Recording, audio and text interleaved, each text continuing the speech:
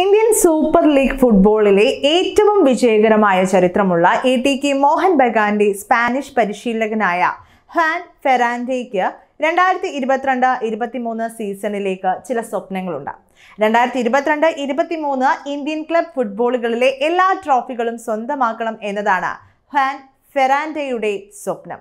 ഒപ്പം A F C കപ്പും സ്വന്തമാക്കണമെന്നതാണ് ഈ സ്പാനിഷ് പരിശീലകന്റെ സ്വപ്നം.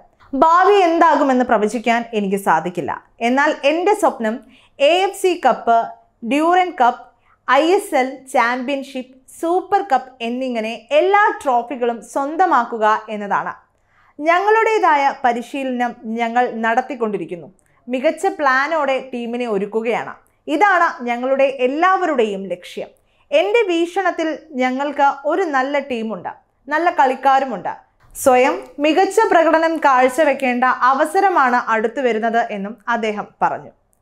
എ എഫ് സി കപ്പിൽ എ ടി കെ മോഹൻ ബഗാന്റെ അടുത്ത എതിരാളികൾ കരുത്തരായിരിക്കും. കാരണം നമ്മൾ സംസാരിക്കുന്നത് ഗ്രൂപ്പ് സ്റ്റേജിന് മുൻപുള്ള പ്ലേ ഓഫിനെ കുറിച്ചല്ല സെമി ഫൈനലിനെ കുറിച്ചാണ്.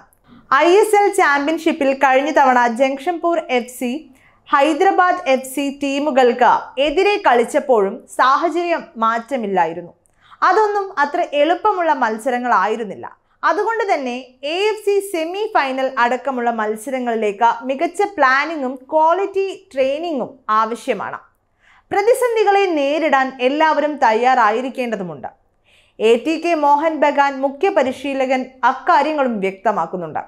രണ്ടായിരത്തി ഇരുപത്തൊന്ന് ഇരുപത്തിരണ്ട് ഐ എസ് എൽ സീസണിൽ എ ടി കെ മോഹൻ ബഗാനെ സെമിയിലെത്തിച്ച ഹ്വാൻ രണ്ടായിരത്തി ഇരുപത്തിരണ്ട് ഇരുപത്തിമൂന്ന് സീസണിലേക്ക് പുതിയ സൈനിങ്ങുകൾ നടത്തിയിട്ടുണ്ട്.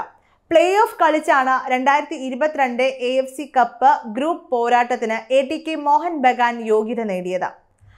I F C cup group ഡിയിൽ മൂന്ന് മത്സരങ്ങളിൽ രണ്ട് ജയം നേടി. ചാമ്പ്യന്മാരിൽ inter zone play off semi ഫൈനലിന് യോഗ്യത നേടി. ഐ ലീഗ് ക്ലബായ ഗോകുലം കേരള എഫ് സിയോട് മാത്രമാണ് ഗ്രൂപ്പ് ഘട്ടത്തിൽ A T K Mohun Bagan തോൽവി വഴിവാങ്ങിയത്. രണ്ടായിരത്തി ഇരുപത് ഏപ്രിൽ മുപ്പതിന് എഫ് സി ഗോവയിലെത്തിയ ഹ്വാൻ രണ്ടായിരത്തി ഇരുപത്തൊന്ന് ഇരുപത്തിരണ്ട് സീസണിന്റെ ആദ്യ മാസത്തെ പോരാട്ടത്തിന് ശേഷം ഏവരെയും അത്ഭുതപ്പെടുത്തി ക്ലബ്ബ് വിട്ടു.